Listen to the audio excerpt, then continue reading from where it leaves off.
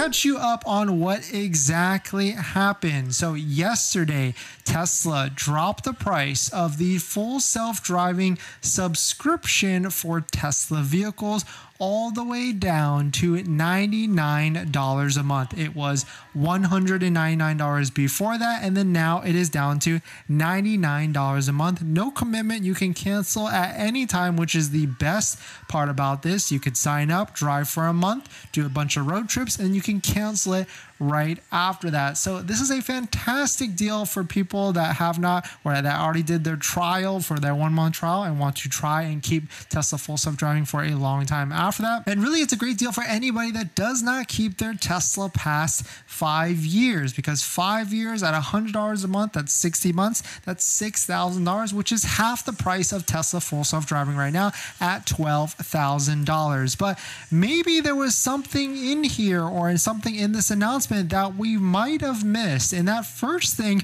onto why they might be killing full self driving is maybe they're taking away, not killing full self driving, but killing the price of full self driving because maybe it potentially could be that Tesla could be removing the $12,000 option because no one in their right mind is going to plunk $12,000 because you really have to keep the car for like 10 years then to keep a Tesla for 10 years. It just doesn't make any sort of worth in terms of the investment to actually do that. So, really, going at $100 a month is a much better financial decision versus paying upfront full self driving for 10 years, unless you really feel like the value of the full self driving is going to stay with the vehicle. But even in the secondhand market, full self driving is really only worth like two to three thousand dollars. So there could be a case made there where if you keep your car for eight years or seven years and you resell it because it has an enhanced value, then maybe it's worth it, but really the $100 mark is really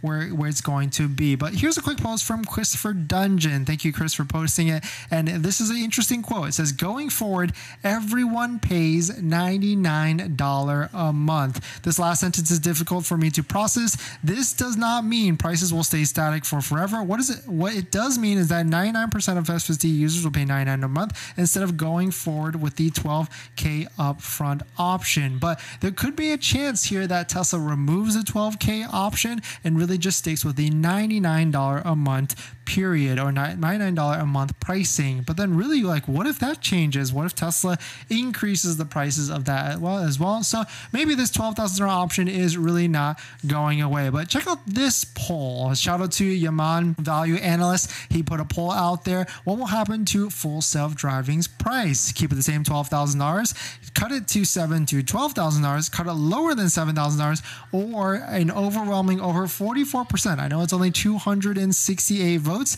but 44% that said that they will remove the pricing option because the take rate probably on that full self-driving $12,000 is probably not really that high. And so we could see a removal if people gravitate to the $99 a month option. So it really could be an interesting move. On top of that, here's another post from Sawyer Merritt. News as of today, Tesla is no longer allowing free full self-driving transfers. That was a promotion where if you had full self-driving on your older vehicle, you could transfer it to a brand new vehicle, but it seems like that is all also an ending to this promotion as well. So a lot of different interesting things coming on from the full self-driving period or space. And so really we could see in terms of like Tesla's killing it because they're lowering the price down to $99 and no one's going to spend that $12,000. But we could also see that maybe Tesla's strategy here is to just get as many subscriptions as possible and just kill the $12,000 option altogether because